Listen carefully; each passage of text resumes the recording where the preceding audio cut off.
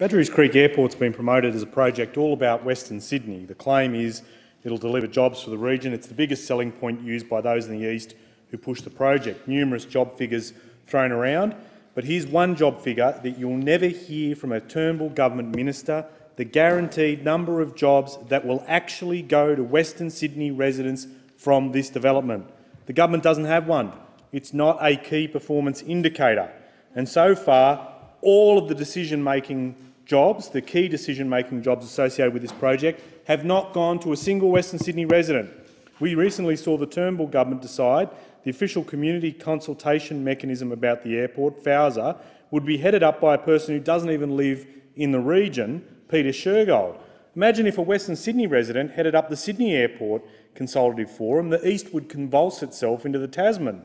Peter Shergold might work in Western Sydney, but he doesn't live here he's not accountable to neighbours or fellow residents for the quality of the job he performs on that forum. The Turnbull government's backed this up in the last 24 hours, naming former Optus boss and former boss of the Urban Infrastructure Minister, Paul Sullivan, as the head of the government body developing the airport. I have the greatest regard for Paul Sullivan, enormous respect for him, but again, he's not a Western Sydney resident. Look at the rest of the board. No Western Sydney residents. Fiona Balfour, noted executive not noted for living in the region. Tim Eddy from Melbourne. Christine Spring from New Zealand. Are you telling me there is absolutely no one with the talent and skill to be involved in this project from Western Sydney, a region of nearly 2 million people? What a joke. The reality is this development is being driven in a typical Sydney way.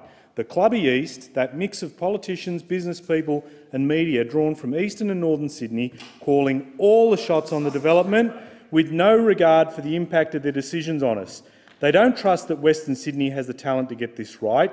They don't believe in delivering um, a fair deal for Western Sydney, and it's the club from the east telling residents in the west that, that what they'll get and how they'll get it. The same club that tells us it's important to have a curfew and resident protections if you live near Sydney Airport, but Western Sydney residents deserve no protection, no curfew, no flight caps. The appointment of a person, no matter how qualified, without roots in Western Sydney means crucial decisions will be made without properly respecting local perspectives. They're not accountable for the quality of the decisions. This is wrong and Western Sydney does not deserve this.